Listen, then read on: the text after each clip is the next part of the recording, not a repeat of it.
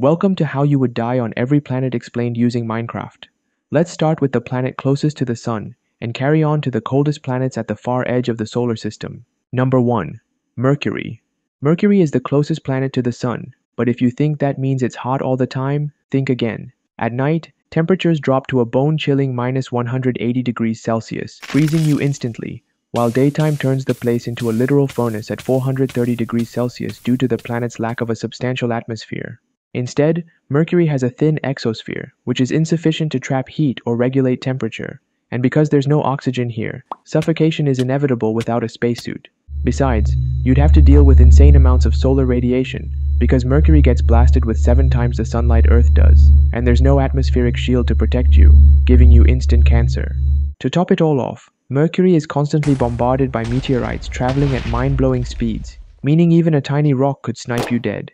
All of these scenarios would only happen if you could land safely on the planet in the first place. Well, because it's very tricky thanks to Mercury's uneven terrain full of craters and cliffs, adding the fact that the thin atmosphere provides little air resistance, making it difficult to slow down a spacecraft and increasing the risk of high-speed impacts. The safest area to land would be in the Terminator Zone, the region between day and night, where the temperature is less horrible. But don't get too comfy, because the temperatures can change faster than your ex's mood.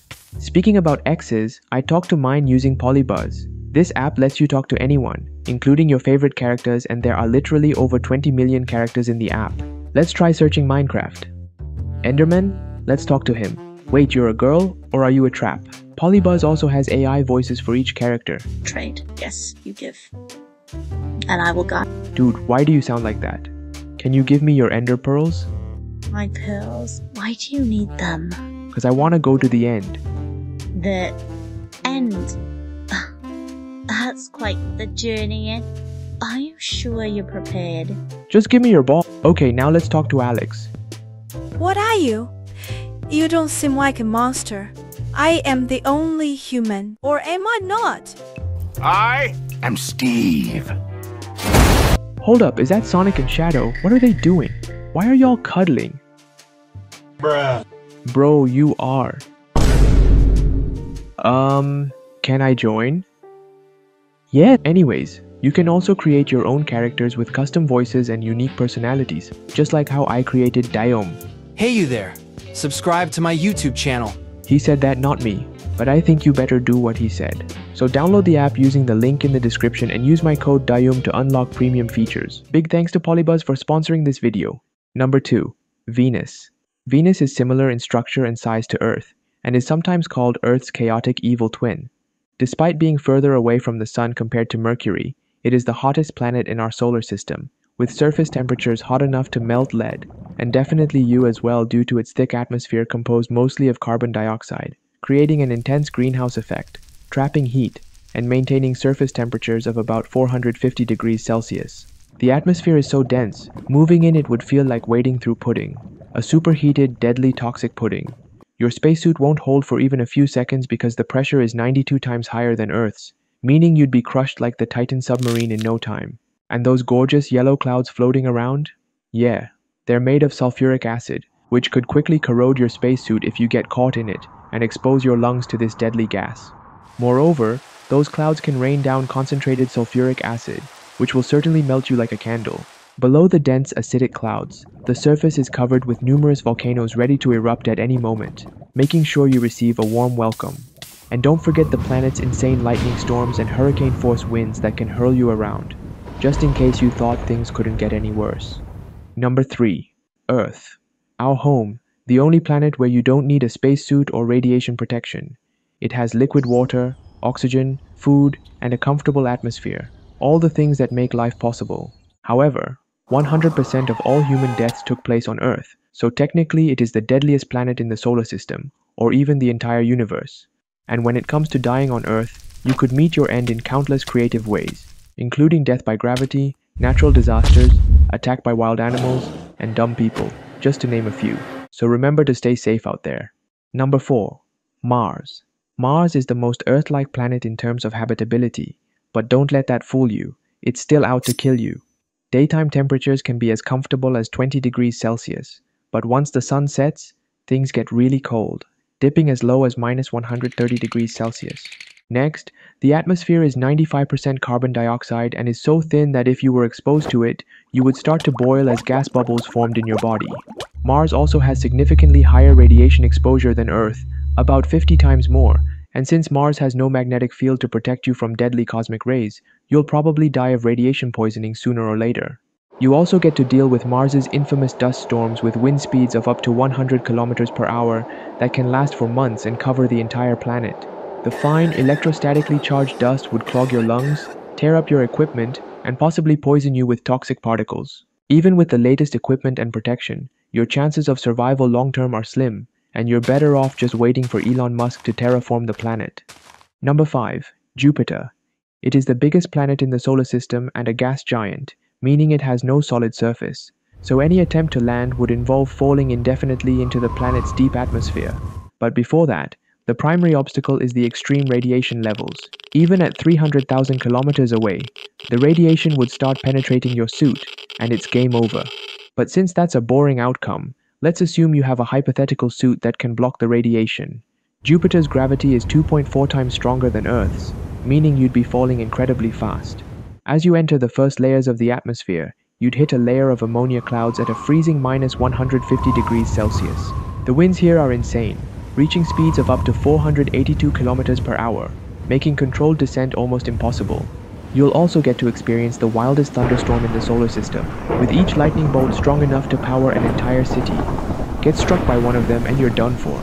If you manage to traverse down about 150 kilometers through these top layers, you'd reach the deepest point ever explored, where no man-made probe has ever survived. Beyond this point, things start getting darker, while both temperature and pressure begin ramping up fast. If somehow your spaceship still survives, you will reach Jupiter's inner layers, where the gases here turn into a supercritical fluid, and you'd encounter metallic hydrogen, a bizarre substance that will trap you in forever. But if you manage to get even deeper, you'd hit the core, where temperatures skyrocket to a ridiculous 24,000 degrees Celsius, about 4.5 times hotter than the surface of the sun. And forget about trying to escape, because at that point, you'd be completely vaporized. Number 6. Saturn. Saturn is known for its iconic rings, but those rings are exactly the problem. They are made out of shattered moon debris with sizes ranging from small dust to huge chunks the size of a house, so avoiding smashing your spaceship onto any one of them would be a real challenge. Like Jupiter, Saturn is a gas giant without a true surface. Instead, the planet is mostly swirling with gases and liquids made of hydrogen and helium. When you reach the upper atmosphere, you'll encounter hurricane force winds blowing at 1,800 kilometers per hour. You're basically in a planetary blender. Trying to enter from the North Pole wouldn't be any better. Over there lies a massive hexagonal storm large enough to fit two Earths inside. Although the wind speeds here are much slower at 322 kilometers per hour, this region also has ammonia clouds and temperatures that can plummet to a frosty minus 250 degrees Celsius. As you continue your descent, the gases gradually transition into a dense liquid state. The extreme pressures and temperatures deep within the planet would crush, melt, and vaporize any spacecraft. But if you're able to reach the center of Saturn, you'd meet its molten, rocky core.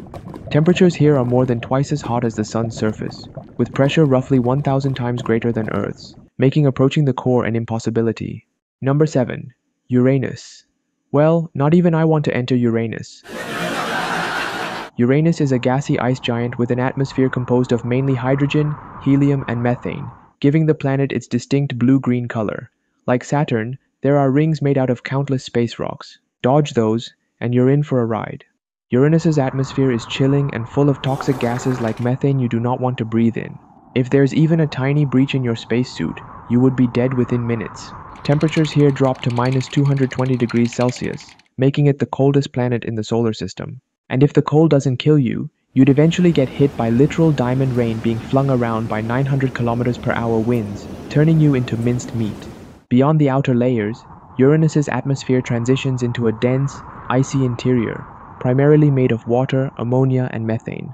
You just sink continually into the layers until the absurdly strong pressure squashes you and literally turns you into diamonds.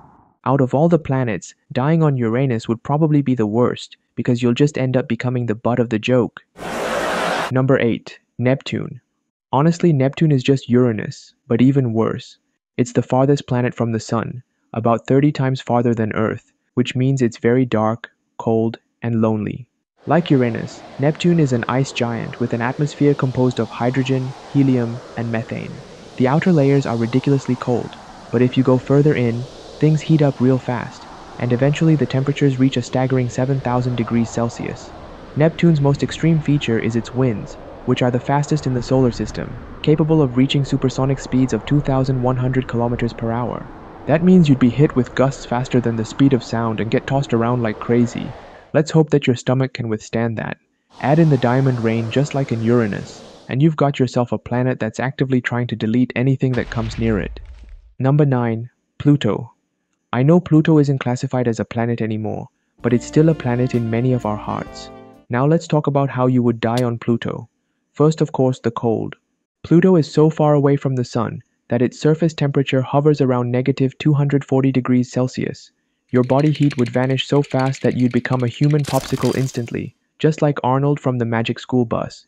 Next, Pluto's air is basically a vacuum with a sprinkle of nitrogen and methane. Without a spacesuit, you'd pass out from oxygen deprivation, and your blood would start boiling due to the near zero atmospheric pressure. So technically, you'd freeze and boil at the same time. 0 out of 10 will not recommend.